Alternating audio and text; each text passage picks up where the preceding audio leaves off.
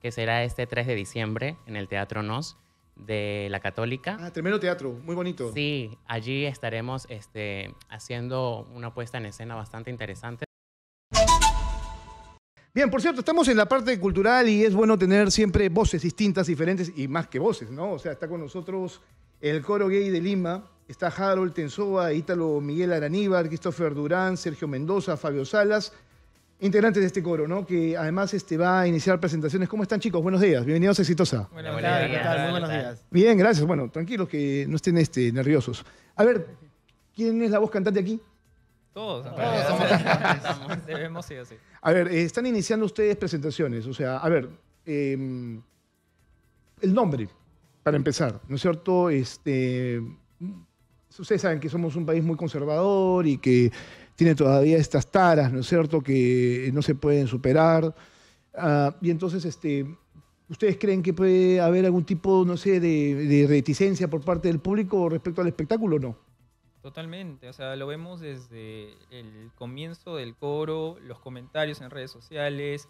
eh, o sea, el día a día de nosotros nuestras vidas siendo gay, ¿no? O sea, el hecho de tener representación, creo que muchas personas todavía no lo comprenden, ¿no? Muchas personas nos cuestionan por qué se llama el coro gay cuando en realidad no se cuestiona cualquier otro título de cualquier otro coro, ¿no? En, en general, Bueno, pers- eh, es un nombre ¿no? bastante directo, ¿no? O sea, al grano. Exacto, y, y con el propósito de tener representación y que de alguna persona que se pueda sentir identificada y quiera hacer arte pueda llegar a nosotros y encuentre un lugar seguro para hacerlo. Qué bueno, qué bueno saber eso, justamente porque además se atreven, ¿no? Sobre todo en una sociedad, una sociedad tan pacata como esta, ¿no? O sea, tengo amigos que todo el tiempo me andan cuestionando decisiones de carácter editorial respecto a estos temas y yo digo, bueno, el exitoso es eso, justamente, es la voz que integra el Perú. O sea, todos tendremos que tener esa posibilidad de poder tener estos espacios para poder conversar. Eh, sé que hay este, oyentes que a veces también este, opinan en contra justamente de lo que podría ser avances en cuanto a derechos eh, de la comunidad y parece que este, les afectara. ¿en qué, cambia sus vidas? Digo yo, ¿no? Hay que ser un poquito más tolerante, ¿o no te parece? Sí, así es. este, efectivamente, nosotros apostamos siempre por eh, darle visibilidad a la comunidad LGBTIQ+. Y es, eh, digamos, uno de nuestros objetivos, uno de nuestros objetivos en, en nuestro próximo show, que será este 3 de diciembre en el Teatro Nos de la Católica. Ah, tremendo teatro, muy bonito. Sí, allí estaremos este, haciendo una puesta en escena bastante interesante donde estaremos, digamos, dando eh, nuestro, nuestra manera, nuestra perspectiva de ver las cosas eh, y aparte de eso, pues darnos esa visibilidad ¿no? que necesitamos tanto. A mí me gustan los coros, ¿sabes? Es, Este, soy muy coral en ese sentido. Imagino que ustedes son fan de Glee, ¿no? Sí, por supuesto. Ah, sí. ah, todos han contestado al unísono. Sí, sí, sí. Bueno, Glee, para que el público lo sepa, era una serie eh, de televisión que ah, ah, fue histórica además, ¿no es cierto? Sí. Eh, que tenía voces espectaculares y que era 100% musical, ¿no? Total, de hecho hay mucha gente que nos hace referencia a eso, este, ya que nuestro formato es un poco como show choir, entonces este, no somos tanto como Glee, pero sí Ahora, tenemos nuestra propia... ¿Cuántos coros eh, de la comunidad existen? ¿Solo este? Bueno, actualmente en el Perú eh, somos eh, el primer coro de la comunidad LGBTIQ+, pero alrededor del mundo hay muchísimos, hay muchísimos. De hecho, nosotros este, pertenecemos... Bueno, mi compañero Harold nos puede hablar un Oh, Harold, de eso. Cuéntanos Eh, eso. Pégate un poco el micrófono, por favor. Nosotros hace cuatro años, durante pandemia, un grupo de amigos, este, tuvimos esta idea de formar un, un coro gay y tuvimos contacto con el coro gay de México, que son nuestros mentores en realidad. Con ellos eh, nos dieron lineamientos, consejos y ya el, el coro próximamente va a cumplir ya cuatro años de fundados en diciembre, justo un poco después del show del, del día 3. Y este, además de eso hay toda una, una, una constelación de coros en, en el mundo, ¿no? el coro de Barcelona, el coro de Boston. Somos miembros de, de Gala Chorus, que es como decir eh, la FIFA de los coros, ¿no? Ujú. para que se entienda. Y somos parte también de, de esta, de esta comunidad. Ah, mira, tú qué interesante todo eso. Sí, no, no sí. tenía la menor idea. La verdad que es- ah, eh, se me escapa un poco el circuito. ¿no? Lo que sí es que tengo un amigo que, que también es gay y de, eh, amigo muy, muy querido del colegio, a- a Arturo Ramos, que también forma parte de un coro. Por eso preguntaba si había más coros justamente de la comunidad, ¿no? Este, LGTBIQ+, ¿no? Este, desarrollando este tipo de actividades culturales. Este 3 de diciembre, ¿qué es exactamente lo que vamos a escuchar? Muy bien. a ver. Sí, vamos a tener, nuestro show se llama Gardenias, que es prácticamente un homenaje que le vamos a hacer a las víctimas del año 89, 1989. si no me equivoco, eh, que fueron eh, en Tarapoto, que fueron eh, víctimas a través del MRTA en la Noche de las Gardenias. Entonces queremos hacerle un tributo con música peruana en un contexto actual, con todas las problemáticas que están pasando, pero también de una manera en la que el público se puede entretener a través de coreografías, puestas en Qué escena, locura. eh, aparte, bueno, los cantos corales, entonces estamos, tenemos Entiendo, invitados especiales. entiendo que es un espectáculo de música peruana, ¿no? Totalmente. Eh, sí. ¿Podemos escuchar algo de eso? Sí, claro. A Sí. ver quién, quién inicia. Vamos a presentarnos. Con... Sí, bueno, vamos a presentar con nuestra canción original que tenemos. A ver, cántela, por favor. Vamos. Un, dos, tres y... Hola, ¡Hola! somos el coro gay de Lima y les damos la bienvenida. Ansiosos ya por empezar. ¡Ja! ¡Ja! Hola, ¡Hola! somos el coro gay de Lima. Esta mañana tan linda es para ti, claro que sí. Ah, bravo. Y muy honrados por vuestra asistencia a esta gala que usted auspició. Solo queremos que tengan en cuenta las reglas y no nos cancelan el show. Llenos de brillos y risas y dramas también. No es lo que esperan, por fin en Lima un coro gay. Bueno, bravo. Grandes voces son las que tienen ustedes, ¿ah? Gracias. Son, son muy buenas voces, la verdad. Eh, ¿Cómo se hace la selección de voces?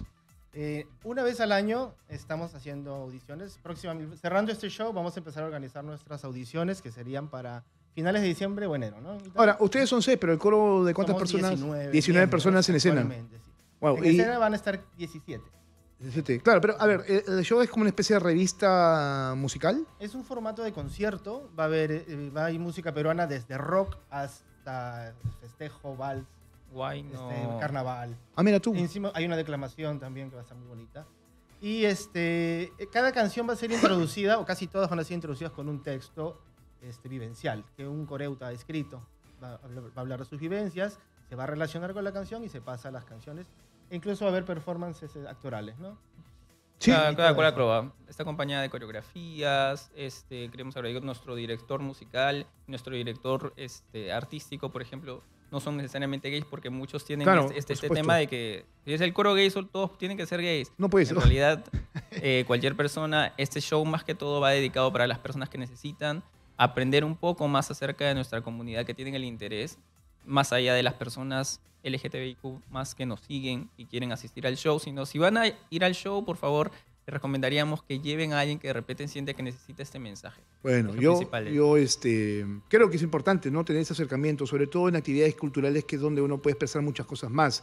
Y si algo hay que destacar de la comunidad es que son ampliamente talentosos, no solamente para la música, para la danza, ¿no? Un saludo para mi amigo Olim Plácido también, de LATAM, eh, este, me lo encontré esta semana de APEC, también este, parte de la comunidad, entre otros más. O sea, yo creo que sí es importante esto que es el respeto, ¿no? Entre, entre nosotros mismos, ¿no? O sea, daño no están haciendo. Además, este, este tema de prohibición cultural a mí me gusta mucho.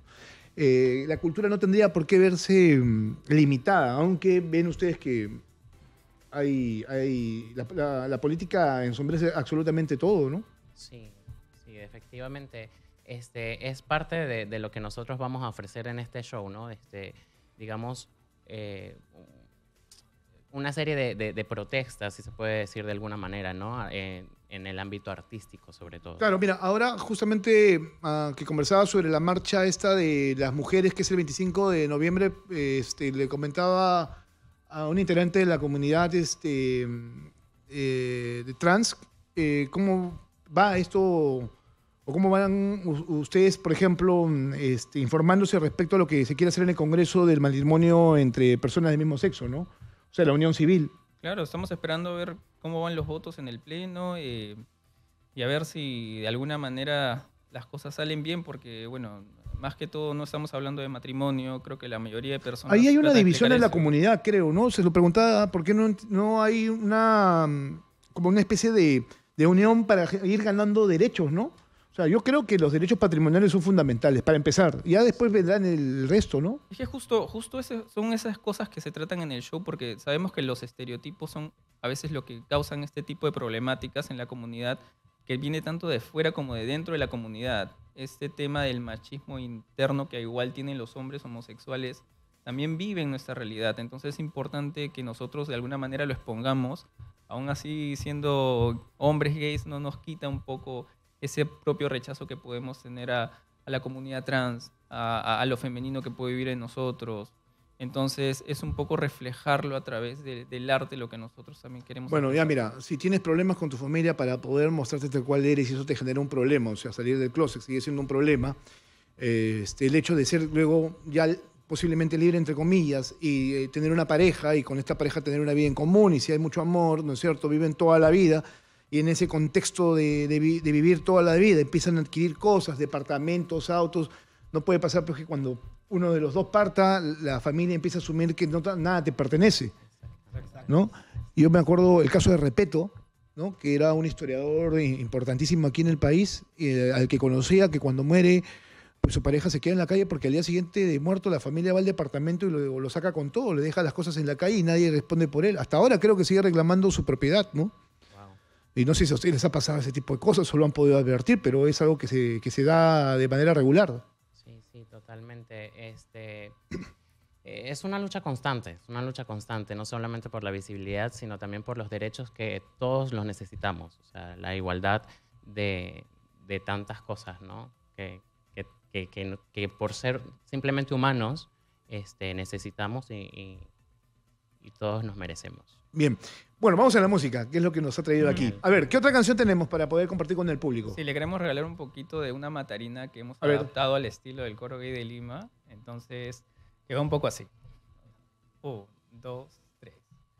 Matarina, Matarina, tus prejuicios, qué dolor. Matarina, Matarina, ven y aprende, por favor.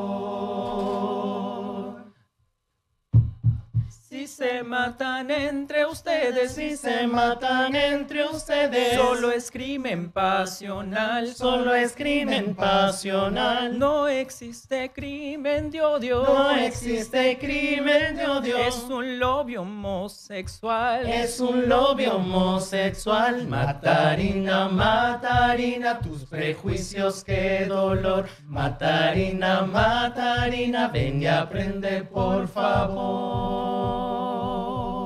Ah, eh, eh, esta canción eh, es interesante como mensaje. ¿Lo pensaron así también?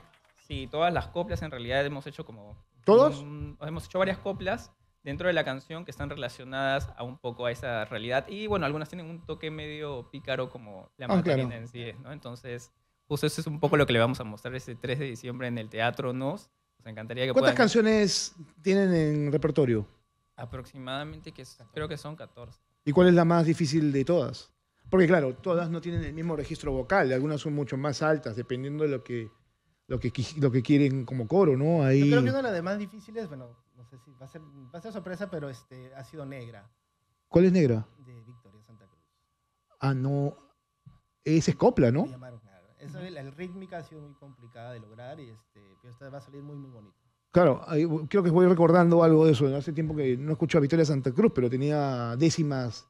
Este, muy, muy bonitas, ¿no? Pero que además es mucho cajón también, ¿no? O sea, es mucho marcar el ritmo con, ritmo, con es eso. ritmo, Pero a- además que una copla, can- o sea, cantada, o como lo hacía Victoria Santa Cruz, no es que te la cantas como, te la- o sea, con ese con esa cadencia musical, ¿no? O sea, tiene otra Hemos, hemos característica. salido un poquito de la zona de confort en ello y estamos, hemos trabajado duro para ello y bueno, no está aquí este, quien canta la copla en sí, pero está saliendo muy, muy bonito. Porque incluso hasta lleva, ah, el- eh, eh, claro, es como que casi zapateo, ¿no? No estamos haciendo zapateo, pero sí mucha rítmica y el cajón este. Y ya. presente. ¿Y qué otra canción podemos escuchar? Ah, Eh, La ¿podemos marinera. Marinera. o Sí, tenemos una marinera A que es ver, original. suéltense también. una marinera, muchachos. Es, es canción original, ¿sí? De Ya, ok.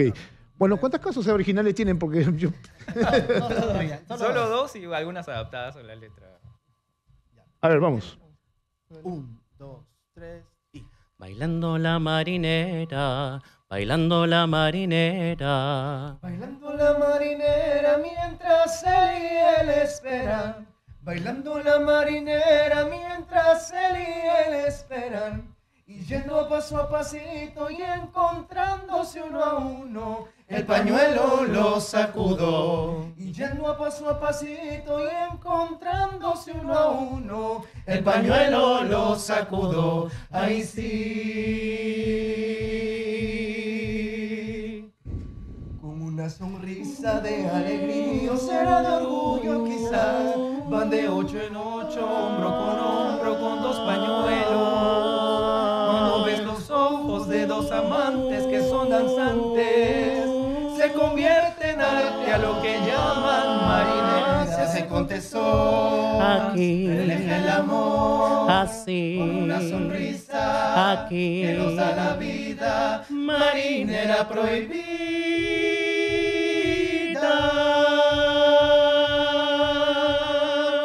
Bien.